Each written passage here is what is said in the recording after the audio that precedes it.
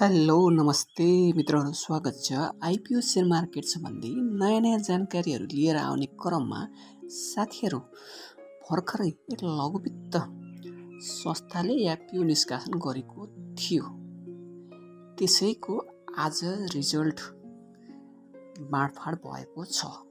साथीहरू त्यसको रिजल्ट तुरुन्त कसरी हेर्ने र कतिजना भाग्यशालीले यस कम्पनीको एफपिओ हात पारे भन्ने बारे केही चर्चा गर्नेछौँ साथीहरू यदि यो हाम्रो युट्युब च्यानलमा नयाँ हुनुहुन्छ भने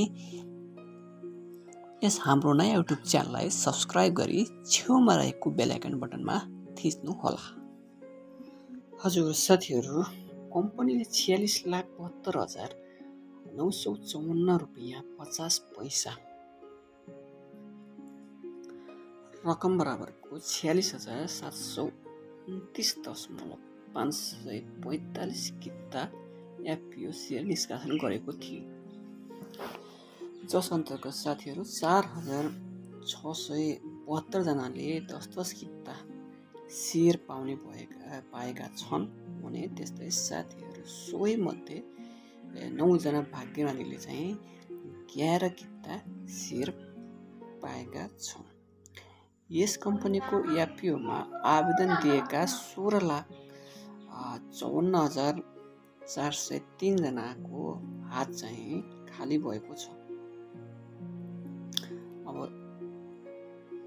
यस कम्पनीको रिजल्ट चाहिँ हेर्ने सजिलो तरिका के छ त तुरन्त हेर्नको लागि हामी फर्स्टमा हामी स्क्रिनतिर लिएर जान्छौँ।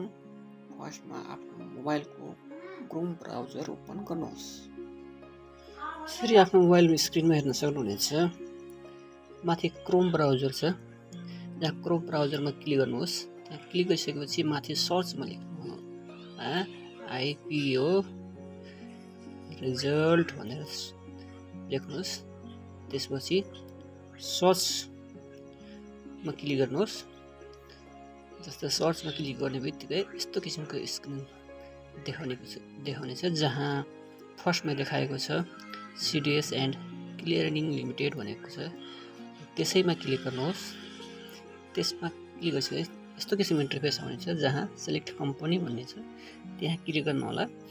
त्यहाँ क्लिक गर्ने बित्तिकै जुन अहिले नयाँ आइपिओ एफपिओको कुनै पनि कम्पनीको रिजल्ट आउने बित्तिकै यहाँ देखाउँछ जहाँ नयाँ कम्पनीको रिजल्ट आउने बित्तिकै तल लास्टमा लास्टमा हेर्नुहोस् तल तल जानुहोस् यसरी तल गइसकेपछि यसरी लास्टमा देख्न सक्नुहुनेछ। सूर्योदय भूमि लघुवित्त भनेर देखाएको छ। हो त्यहाँ। त्यसमा क्लिक गर्नु होला त्यसमा क्लिक गरिसकेपछि सिलेक्ट कम्पनीमा हाम्रो यस कम्पनीको नाम सिलेक्ट हुनेछ।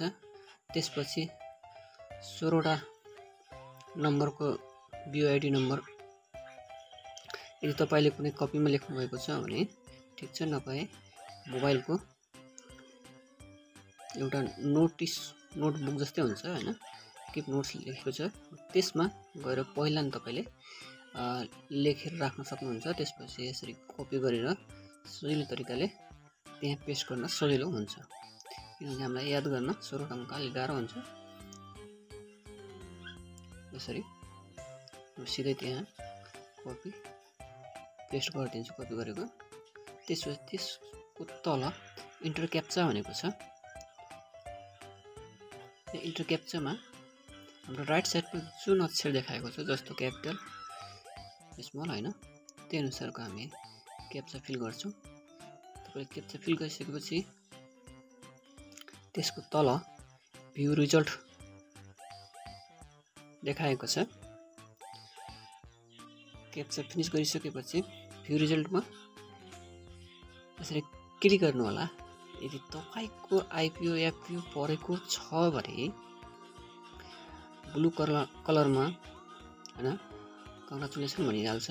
यदि छैन भनेपछि यदि परेको छैन भनेपछि कम्पनीको आइपिएफए परेको छैन भनेपछि सरी नट अलाउटेड भनेर रेड कलरमा देखाउन देखाएको छ।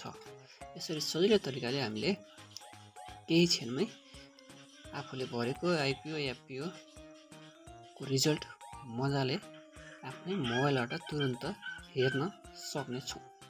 हस् त साथीहरू आजलाई यति नै। साथीहरू यदि हाम्रो नयाँ युट्युब च्यानललाई सब्सक्राइब गर्नुभएको छैन भने अहिले नै तुरन्त हाम्रो यस नयाँ युट्युब च्यानललाई सब्सक्राइब गरी छेउमा रहेको बेलायकन बटनलाई थिच्नु होला ताकि यस्तै नयाँ नयाँ आइपिओ सेयर मार्केट सम्बन्धी भिडियोहरू लिएर आउने बित्तिकै फर्स्टमा नै हजुरहरूले हेर्न र सुन्न सक्नुहुनेछ।